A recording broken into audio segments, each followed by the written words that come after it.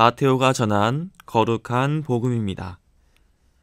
그때 예수님께서 수석 사제들과 백성의 원로들에게 말씀하셨다. 다른 비유를 들어보아라. 어떤 밭 임자가 포도밭을 일구어 울타리를 둘러치고 포도학을 파고 탑을 세웠다. 그리고 소작인들에게 내주고 멀리 떠났다. 포도철이 가까워지자 그는 자기 몫의 소출을 받아오라고 소작인들에게 종들을 보냈다. 그런데 소작인들은 그들을 붙잡아 하나는 매질하고 하나는 죽이고 하나는 돌을 던져 죽이기까지 하였다. 주인이 다시 처음보다 더 많은 종을 보냈지만 소작인들은 그들에게도 같은 짓을 하였다. 주인은 마침내 내 아들이야 존중해 주겠지 하며 그들에게 아들을 보냈다. 그러나 소작인들은 아들을 보자 저자가 상속자다. 자, 저자를 죽여버리고 우리가 그의 상속 재산을 차지하자 하고 저희끼리 말하면서 그를 붙잡아 포도밭 밖으로 던져 죽여버렸다. 그러니 포도밭 주인이 와서 그 소작인들을 어떻게 하겠느냐. 그렇게 악한 자들은 가차없이 없애버리고 제때에 소출을 바치는 다른 소작인들에게 포도밭을 내줄 것입니다. 하고 그들이 대답하자 예수님께서 그들에게 말씀하셨다. 너희는 성경에서 이 말씀을 읽어본 적이 없느냐? 집 짓는 이들이 내버린 돌, 그 돌이 모퉁이의 머릿돌이 되었네. 이는 주님께서 이루신 일, 우리 눈에 놀랍기만 하네. 그러므로 내가 너희에게 말한다. 하느님께서는 너희에게서 하느님의 나라를 빼앗아 그 소출을 내는 민족에게 주실 것이다. 수석 사제들과 바리사이들은 이 비유들을 듣고서 자기들을 두고 하신 말씀인 것을 알아차리고 그분을 붙잡으려고 하였으나 군중이 두려웠다. 군중이 예수님을 예언자로 여겼기 때문이다. 주님의 말씀입니다. 찬미 예수님, 다보일 사이버 교회분들 반갑습니다. 오늘 하루를 허락해 주신 주님께 감사를 드리시면서 기쁜 일상 보내실 수 있었으면 좋겠습니다. 오늘 복음에서 우리는 포도와 소작인의 비유 이야기를 들을 수가 있습니다. 이 이야기에서 소작인들은 포도밭 주인의 아들을 죽이는 끔찍한 죄악을 저지릅니다. 왜 이런 끔찍한 비극이 벌어졌을까요?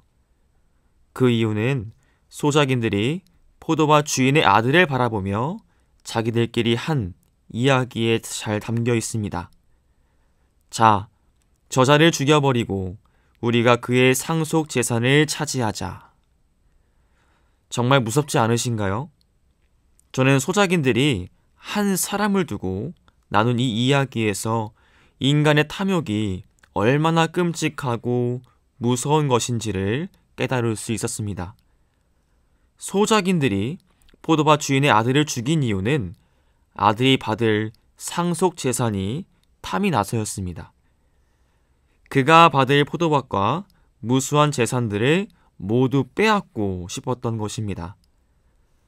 탐욕에 눈이 먼 소작인들에게 있어서 포도밭 주인의 아들은 존중받아야 할 인격체가 아니었습니다.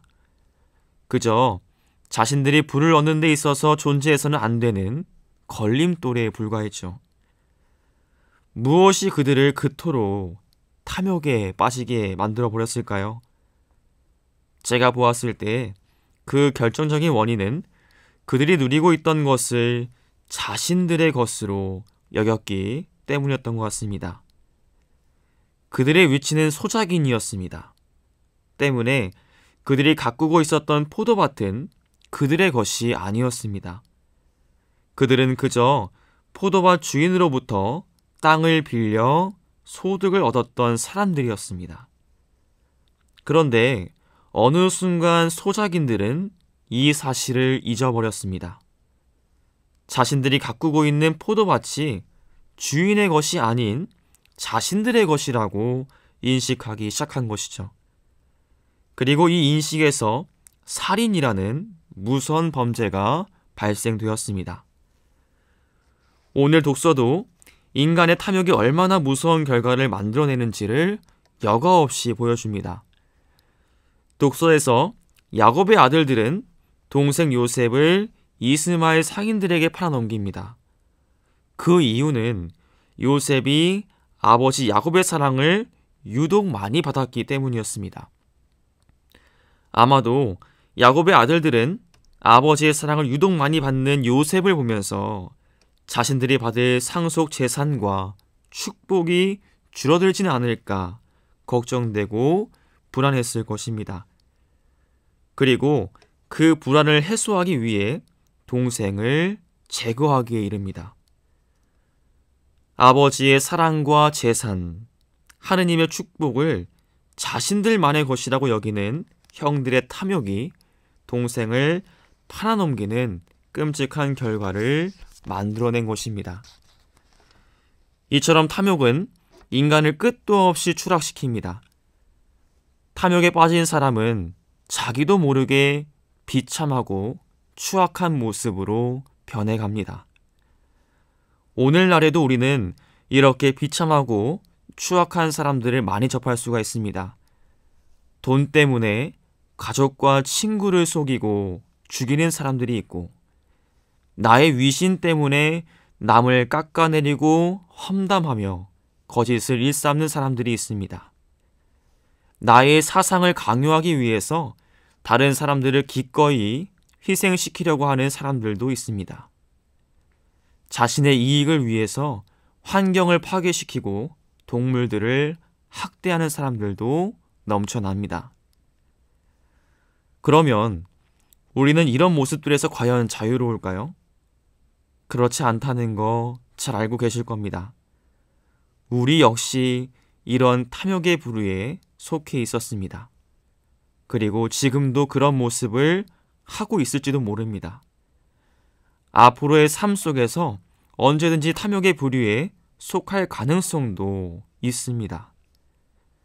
나 역시 하느님 앞에서 그리고 다른 누군가 앞에서 비참하고 추악한 탐욕의 모습을 보일 수 있다는 사실 기억해야만 하겠습니다. 그러면 도대체 어떻게 하면 그런 탐욕의 모습에서 우리가 조금이나마 자유로울 수 있을까요? 제가 앞서 말씀드렸지만 탐욕은 내가 누리고 있는 것들을 나의 것이라고 여기는 생각에서 출발합니다. 때문에 우리는 이런 생각을 과감히 버릴 수 있어야 합니다.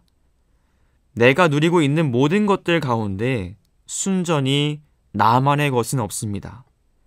그 모든 것들은 하느님께서 우리에게 주신 것들이기 때문입니다. 우리의 생명, 몸, 건강, 가족, 자연, 친구, 재산들에 대해서 한번 잘 생각해 보시길 바랍니다. 그 모든 것들이 결코 나의 능력만으로 만들어낼 수 없는 것들임을 어렵지 않게 알아차리실 수 있으실 겁니다.